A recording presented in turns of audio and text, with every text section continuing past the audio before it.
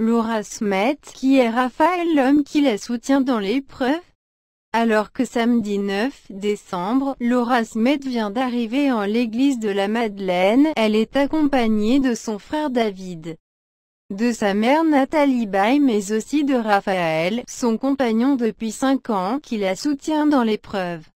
Immense jour de tristesse pour Laura Smet. La fille si fragile de Johnny Hallyday et Nathalie Baye, qui vient de prendre place en l'église de la Madeleine aux côtés de sa mère, de son demi-frère David Hallyday, de Sylvie Vartan. Devant elle, sa mère et celle de David s'étreignent avec émotion. Laura Smet qui comme son frère David n'était pas dans le cortège funéraire mais a déjà pris place en l'église de la Madeleine. Une jeune femme qui n'avait pas pu voir facilement son père quelques semaines avant sa mort tant il appréhendait de se montrer diminué devant elle.